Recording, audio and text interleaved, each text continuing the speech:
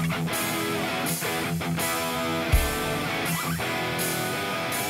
man，欢迎收看 Push Go Let Go。上次已经完成一到九项，这次要完成十到十八项。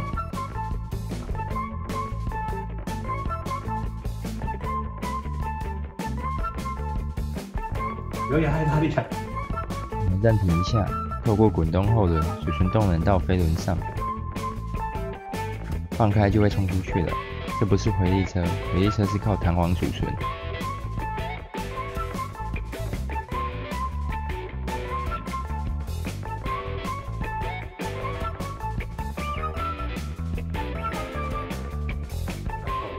我觉得好可怜了，我觉得太可怜了。你不要再转了，你要转到什么时候？你到现在才转了几度而已，而且已经拍了快二十秒了，你现在才转了几度而已。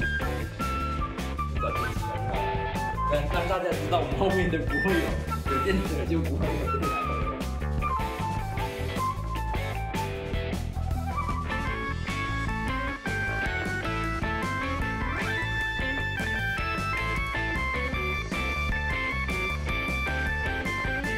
按下升级机构，将车子装上，开启电源，车子加速，这次快速冲出。哎，算了，我们还是来讲解好了。检讨这么慢的原因，底板为弹性材质会吸收动能，没有好的动力储存。或许之后能将飞轮车与加速器结合，或许这样会有比较好的表现哦。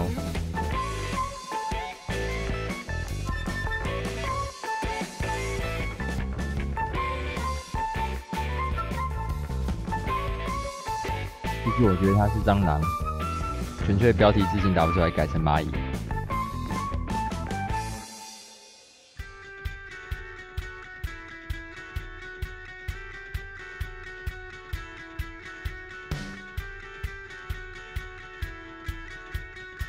我们改变它输出的位置，从靠近转轴中心的位置改到离中心较远的一格。翻面也一样。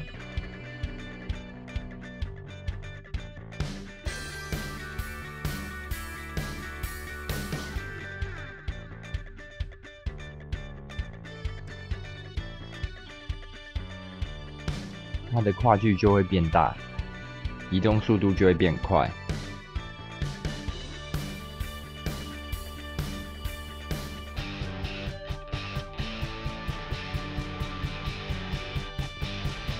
这部没用到棘轮，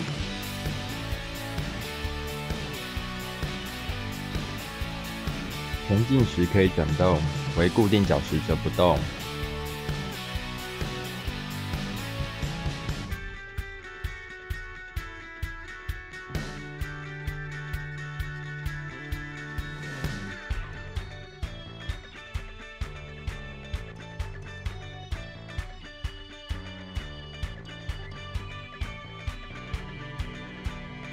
改变轴的位置，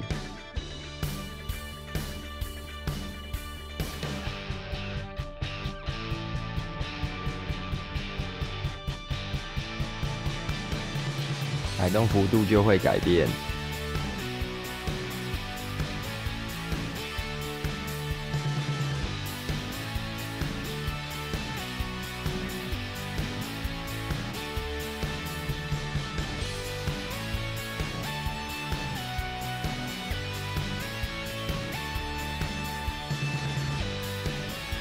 改变凸轮方向，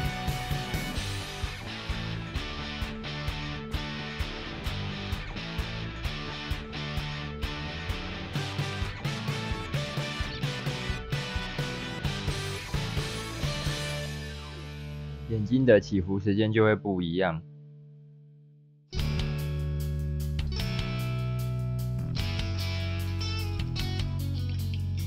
皮带轮跟齿轮比一样，参考连结。小轮转大轮就会减速，大轮转小轮就会加速。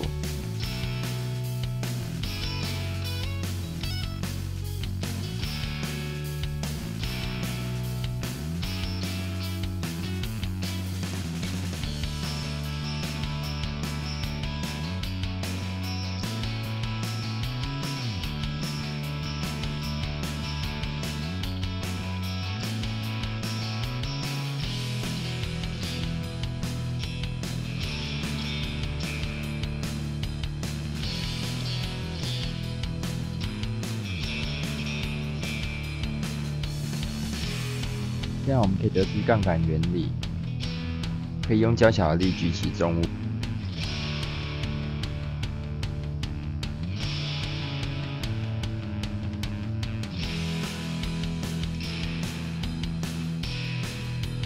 三线滑轮组，负荷等于扭力。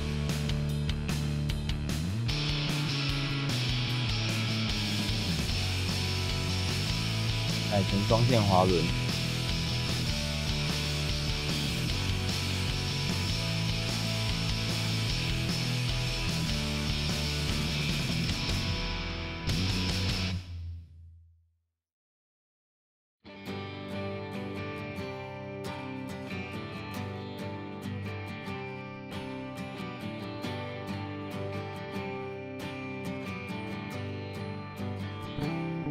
双线滑轮，负荷等于两倍的扭力。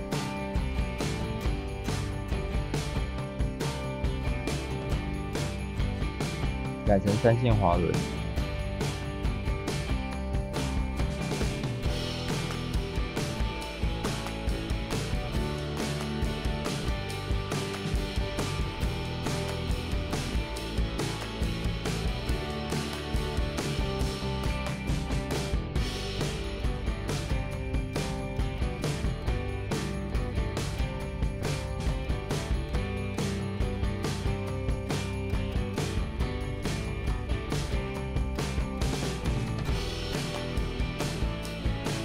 单线滑轮负荷等于三倍的扭力。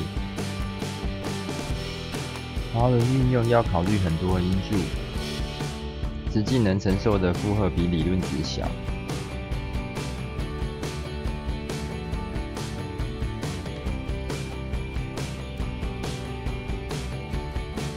这边是悬崖。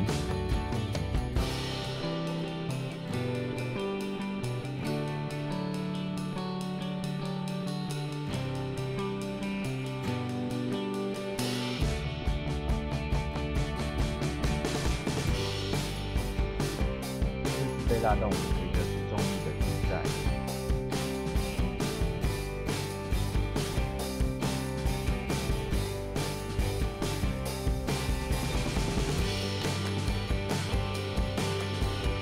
我们换挡，高速跟低速转速的差异。